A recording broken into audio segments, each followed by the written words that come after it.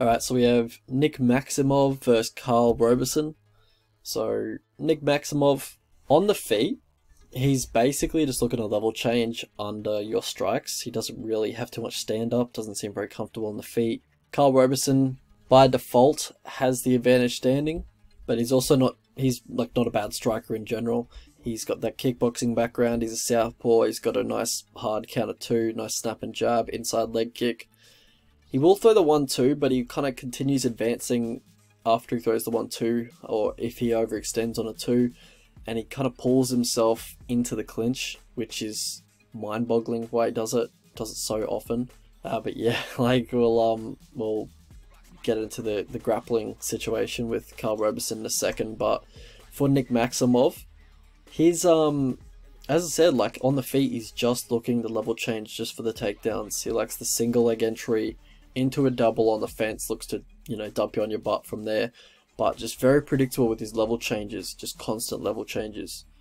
Tries to finish a lot of his takedowns on his knees. He'll kind of fall to his knees when he does change levels. Really easy to sprawl on.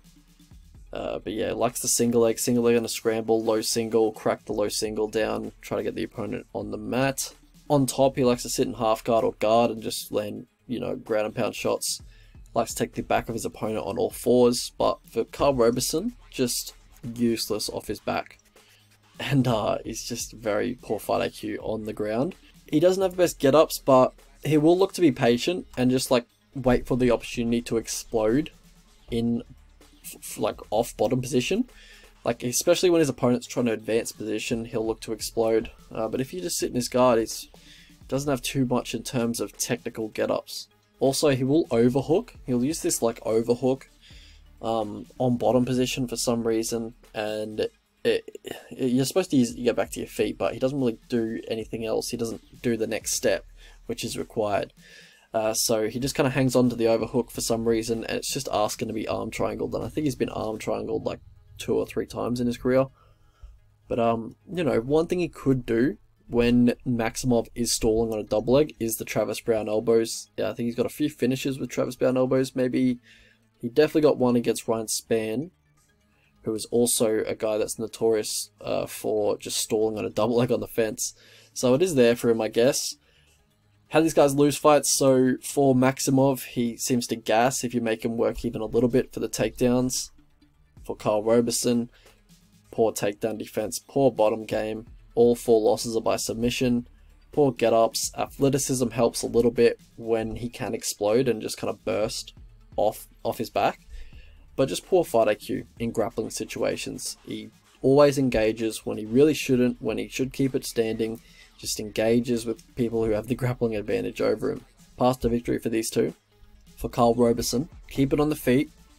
Just uppercuts when he's dipping, he's constantly going to be level changing. So just uppercuts there.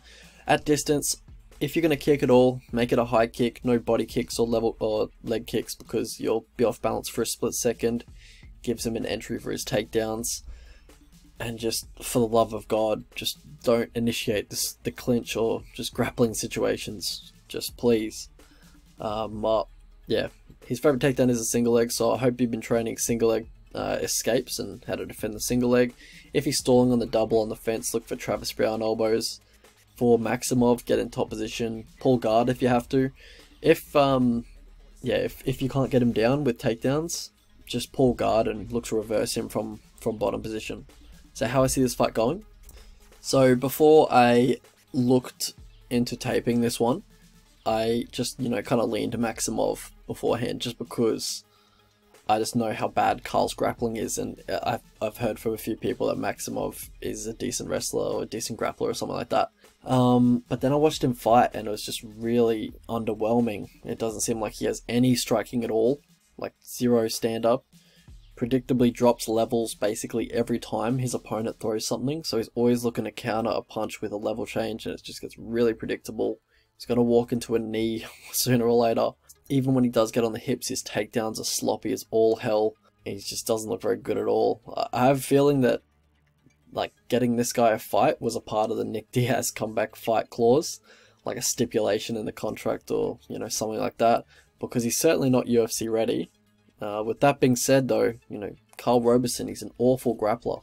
So if Maximov can ground Roberson, then there's a decent chance that he can control him from top position. That was one part of Maximov's game where I, I thought was pretty decent.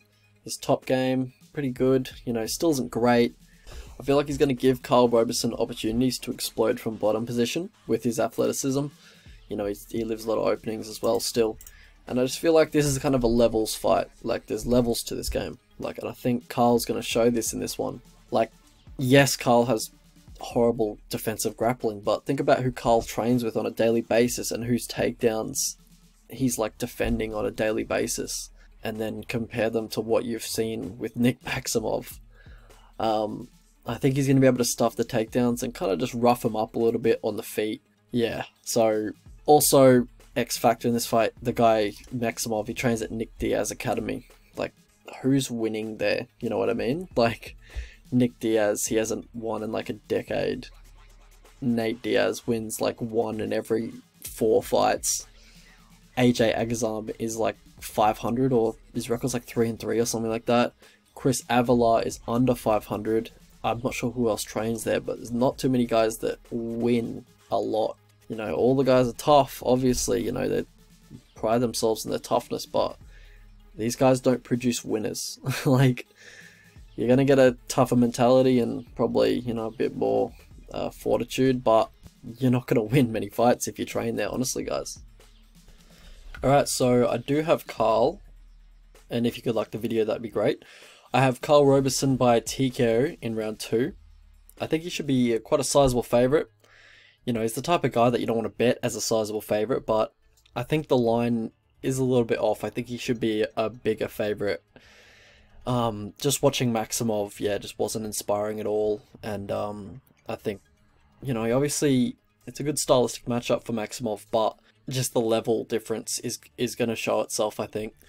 And uh, yeah, I'm pretty happy to bet, Ma uh, what's his name, Roberson, at minus 125 or $1.80 this price is fine right now. You know, I wouldn't bet him as a huge favourite just because he's a, a, bit of a bell end, but, um, you know, he should win this fight, really.